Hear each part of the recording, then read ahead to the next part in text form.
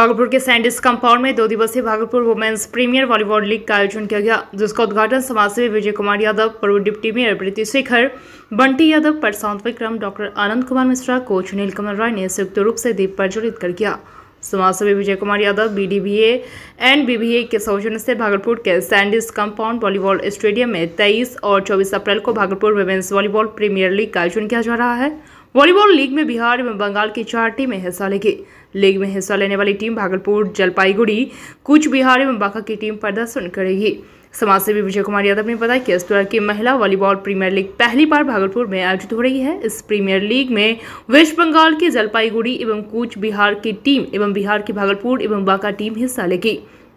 ये premiere league Bihar volleyball संघ के इवेंट सचिव अजय राम एवं कोचिंग सचिव नीलकमल राय की देखरेख में आयोजित की जाएगी। नीलकमल राय ने बताया कि इस लीग के सारे मैच फ्लड लाइट में खेले जाएँगे। संध्या पाँच बजे से रात्रि के नौ बजे तक लीग के मैच खेले जाएँगे। प्रीमियर लीग के संयोजक विजय यादव ने बताया कि आयोजक की तरफ़ से रंगीन ड्रेस खिलाड़ियों और मैच रेफरी के लिए दिए जा रहे हैं। इस लीग के निर्णायक राष्ट्रीय स्तर के निर्णायक संदीप कुमार, अनिल कुमार कुमार हीरा, धनंजय कुमार होंगे। तकनीकी टीम में प्रदीप कुमार एवं चंदन कुमार है। इस मौके पर काफ़ी संख्या में दर्शक भी मौजूद थे। बीएनपी न्यूज़ के लिए भागलपुर से संवाददाता अभिषेक आनंद की रिपोर्ट। क्या कार्यक्रम है भैया?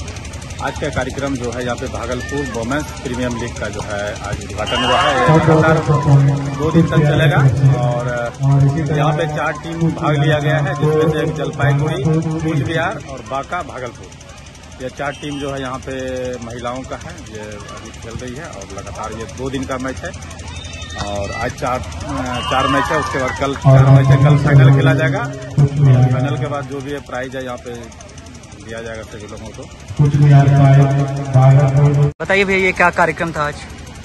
कार्यक्रम यह है कि पहली बार भागलपुर में Bhagalpur women's premier volleyball league का आयोजन किया गया है। क्योंकि इस क्षेत्र में वॉलीबॉल काफ़ी पॉपुलर है और भागलपुर की टीम बिहार की चैंपियन है वर्षों से।